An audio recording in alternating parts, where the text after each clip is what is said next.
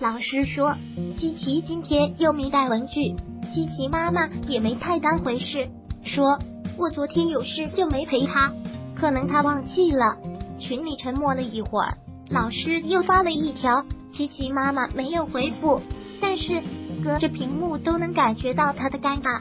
可是班级里要求父母做的事，就数琪琪最落后了。打印的材料忘了，通知的事情没看见，该家长抽屉的部分都是空白。有一次，琪琪发烧，一直趴在桌子上。老师问：“你感冒好几天了，有没有吃药？”琪琪说：“没有，因为妈妈不知道。”当老师问到的时候，琪琪妈妈说：“孩子不咳嗽啊。”“是的，不咳嗽，没有声音，就不知道孩子病了。”琪琪妈妈工作并不忙，论陪伴时长，可能他要算是最多的了。虽然人坐在孩子身边，但心却没有半点在孩子身上。这种忽视，其实不是不爱孩子，也不是刻意为之，只是觉得孩子还那么小，没有什么大事儿，因为太过放心而太过粗心。武志红曾经讲过一个案例，来访者是企业高管。他的问题是，无论在什么场合都非常非常紧张，紧张的背后是自卑。他总觉得别人都对他说的话不感兴趣。武志红又问了几个问题，根据经验和感觉判断他和妈妈关系的质量有很大的问题。来访者说：“怎么可能？我和妈妈再好不过了，几乎每天回家，他都跟妈妈聊天，聊两三个钟头。”都是很常见的，从小就是如此。武志红以为判断错了，又问：聊了那么多，有什么印象深刻的美好回忆吗？能不能说一两个？来访者惊讶的发现，竟然一个印象深刻的记忆都没有。因为从小到大三十年了，永远是他看着妈妈说话，妈妈给他一个侧脸，永远不会看他。妈妈在听。也会回应，但就像是心不在焉似的，这让他时刻怀疑是不是他讲的没意思，妈妈不喜欢，或是妈妈根本就不爱他。来访者和妈妈都未曾想过，就是这样的视而不见会让他自卑怯懦，也不曾知道他心里原来有一道疤。为人父母，谁愿意这样伤害孩子？之所以视而不见，是因为我们以为。林孩子太小，他不懂。婆婆经常说，孩子懂啥？谁带不一样？因为孩子太小，他说不清道不明，甚至对于父母的依赖也只能表现的极细微。即便大哭了一场，还是会凑到我们面前说妈妈最好。我们关注的是会不会趴着，会不会爬，长几颗牙，身高多少，又长胖了吗？吃饱穿暖不生病，大人就可以高枕无忧了。零哄孩子开小差，两不耽误。小一五六个月的时候，我一边抱着他一边看电视。有一次，孩子哭了，我竟然没分辨出来，还以为他在笑。那时哭笑声是有一点相似，但更重要的是，我的注意力都在电视上。朋友的老公更甚，用脚发动摇篮里的孩子。人靠在大床上玩手机游戏，我们在孩子身边，可是我们的内心世界里却没给孩子留出一个位置。您不知道孩子在想啥。看过一个案例，一群孩子学游泳都不敢下水，哭声一片。后来绝大多数孩子都下水了，可是其中一个就是不敢。妈妈不明白他到底在怕什么，劝说无效之后。硬把孩子推下去了。后来妈妈自己试了一下，真的很害怕，这才能理解孩子。所以有些事看不懂，是因为我们没有和孩子做同样的事情。孩子单词没背下来，就是不用功；分数低，就是不用心。和小朋友关系差，顶撞老师，偷玩游戏。孩子身上每个不明白的行为背后。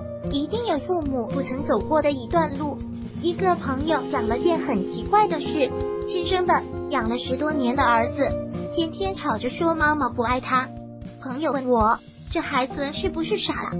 张德芬老师说，孩子天生就是最敏感的小雷达，父母表面上再怎么说、怎么做，都不如他们在能量层面、心理层面感受到的东西来的有说服力。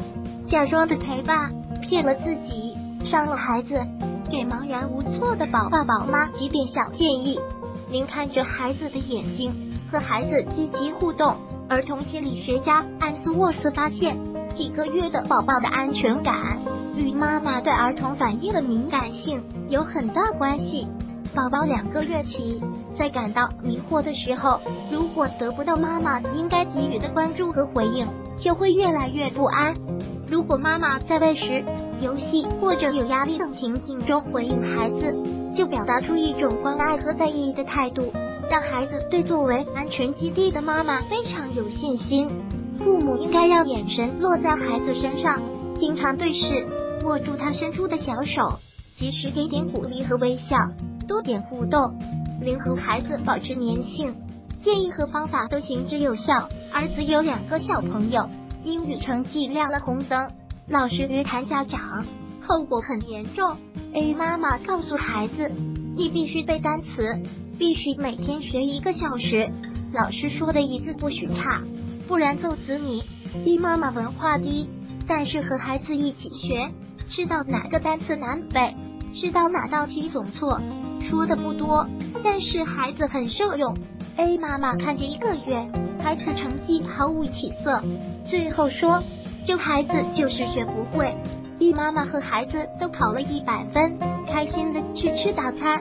孩子遇到困难，不需要家长在旁喊号子、说空话，眼里有孩子，心中就有数。什么时候扶一把，什么时候放手，这才是睿智的家长。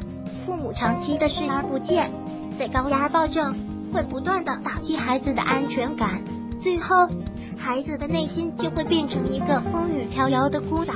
您尊重孩子的感受。年初的时候，北大毕业生。留美博士王猛写了万字长文控诉父母，其实概括起来，就是他在感到孤单挫败的时候，一再的向父母求救，可是父母视而不见。小学时因为不会包鸡蛋，遭到同学、亲戚的取笑，且不止一次。但面对取笑，家人从来没有保护过我，甚至不以为然。上高中时，有一次向父母反映自己调座位后，身边环境变得糟糕时，也遭到了父亲的打骂。你凭什么要学校优待你？凭成绩好？王猛爸妈看到他万字长文时说，反反复复还是那些事。其实那些都不是啥事儿，不明白他为什么会这样。声音可能是复杂的，但是有一点不容忽略，那就是这件事严不严重。可能不是靠外在评说，而是孩子到底是什么样的感受。每个孩子都不同，孩子在意了，那就是大事儿；视而不见，就会在孩子心里淤积，积重难返的遗憾，太过沉重了。黄圣依的儿子安迪曾被问到：“没有爸爸妈妈陪伴，你会孤单吗？”安迪说：“不孤单，我习惯了。”这个样子让人怜惜的心痛。其实比这更可怜的是，人在咫尺，心在天涯。父母最高级的爱，就是孩子，你在我的心里，也在我的眼里。如果喜欢本视频，请分享并订阅本频道，访问 T T News X Y Z 获取更多相关资讯。